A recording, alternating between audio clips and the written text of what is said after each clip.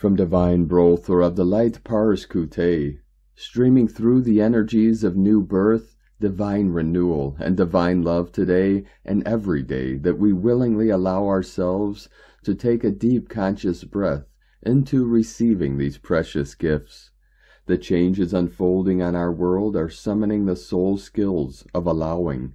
allowing what is fraudulent and false to fall away, and allowing what is true, clear, divine, pristine, precious, and dear to divine source creator to flow in and become humanity's experience in this great shift of the ages. Allowing requires faith, fortitude, trust, and surrendering to divine will deep within you. Allowing this in your inner world and your inner essence, which allows this to also further anchor into the whole planet.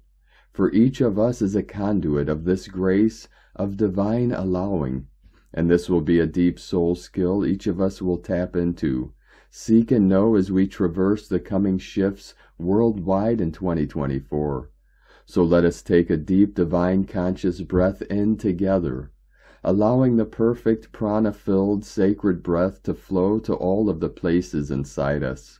in every energy body, in every single cell, in every aspect of us seeking multidimensional fortification, freedom, healing, cleansing, strengthening, and divine soul sight. Allow this conscious breath to flow anywhere and everywhere that our higher God self needs in these times to be and breathe a greater grace, a deeper faith and trust, and divine union with Source. For in the breath, our divine soul self knows what is light, what is God, and what is true. And when we breathe consciously in this way, our soul essence is offered the hand and heart of God to guide our vision, our life force, our purpose, our service, our grounding, and your greatness. All of that flows within us through the sacred art of allowing, and we are honored to be messengers of this precious gift from Source, that every life form in every realm in the universe